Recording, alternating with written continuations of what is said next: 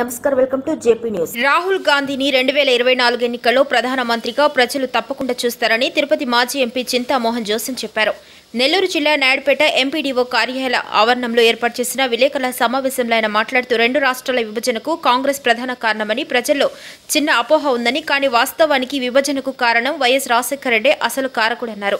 చదువురాని ప్రస్తుత ప్రధానమంత్రి స్వలాభం కోసం కొంతమంది వ్యక్తుల స్వార్థ ప్రయోజనాల కోసం దేశ ఆర్థిక వ్యవస్థను చిన్నాభిన్నం చేస్తూ విశాఖ ఉక్కును బ్యాంకులను ఎయిర్పోర్టులను అమ్ముకోవటం ఆయన అవగాహన లోపానికి నిదర్శనమన్నారు. ఎప్పుడైతే మోడీని ఆయన వానరాన్ని గద్దె దించుతామో అప్పుడు భారతదేశం బాగుపడుతుందన్నారు. రెండు వేల ఇరవై నాలుగు ఎన్నికల్లో కాంగ్రెస్ విజయం సాధించి దేశాన్ని అభివృద్ధి వైపు నడిపిస్తుందని ధీమా వ్యక్తం చేశారు. దేశ ప్రజలంతా బీజేపీ ప్రభుత్వ విధి విధానాల పట్ల విసిగిపోయి ఉన్నారని బీజేపీకి తగిన గుణపాఠం చెప్పే రోజు దగ్గరలోనే ఉందని ఆశాభావం వ్యక్తం చేశారు.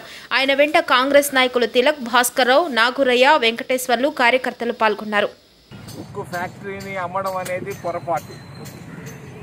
ఉక్కు ఫ్యాక్టరీని తీసుకొని వచ్చింది కాంగ్రెస్ పార్టీ. ఇందిరాగాంధీ యాభై సంవత్సరాల క్రితం తీసుకొచ్చినటువంటి ఉక్కు ఫ్యాక్టరీని అనేక కారణాలు పెట్టి ఉచితంగా అమ్మేస్తున్నారు చీప్గా అమ్మేస్తున్నారు సర్వీస్గా అమ్మేస్తున్నారు. విశాఖ ఉక్కు ఫ్యాక్టరీ ఖరీదు ఐదు లక్షల కోట్లు. అటువంటి ఉక్కు ఫ్యాక్టరీని ఉచితంగా అమ్మేస్తున్నారు. ఎంత సార్ వాల్యూ? వాల్యూ వాల్యూ వచ్చి అసలు వాల్యూ వచ్చి ఐదు లక్షల కోట్లు. కానీ వాళ్ళు అమ్ముతున్నది ఎంతంటే ఐదో శాతానికి అమ్ముతున్నారు దాదాపు. ఇది దారుణం. అతి దారుణం. అక్కడ దాదాపు పదిహేడు వేల మంది ఉద్యోగస్తులు ఉన్నారు. ఈ పదిహేడు వేల మంది ఉద్యోగస్తులు వాళ్ళ బ్రతుకులు బస్ స్టాండ్ అవుతున్నాయి. నిన్న నిర్మలా సీతారామన్ చెప్తా ఉంది. వాళ్ళకు కూడా ఉద్యోగాల్లో పెడతామని. ప్రైవేట్ వాళ్ళు ఏంటి ఉద్యోగాల్లో పెట్టేది వాళ్ళు ఇష్టమైతే ఉంచుతారు లేకపోతే తుమ్మితే తీసేస్తారు తగ్గితే తీసేస్తారు.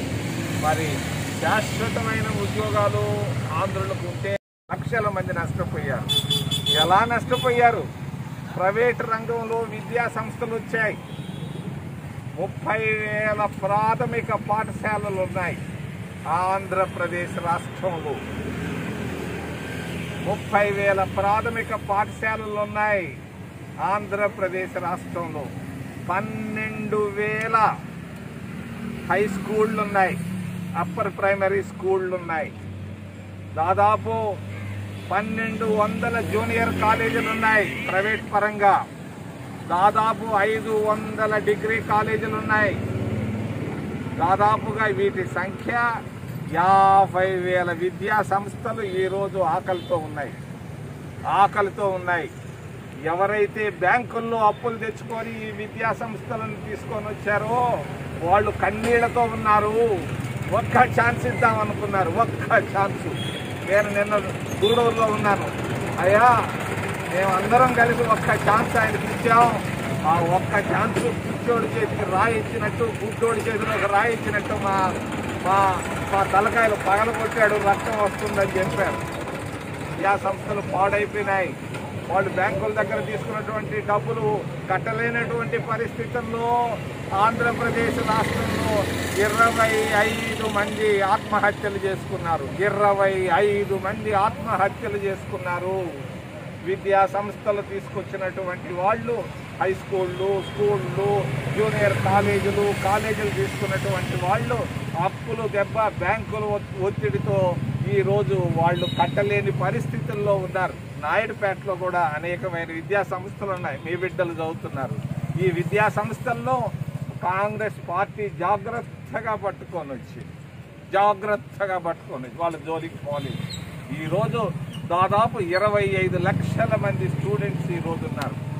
ఆంధ్రప్రదేశ్ రాష్ట్రంలో ఈ ప్రైవేట్ పాఠశాలల్లో. వీళ్ళందరి పరిస్థితి అధ్వానంగా తయారవుతుంది. ఇది విద్యా ప్రమాణాలు పడిపోతున్నాయి. దీనిని నేను ఖండిస్తున్నాను.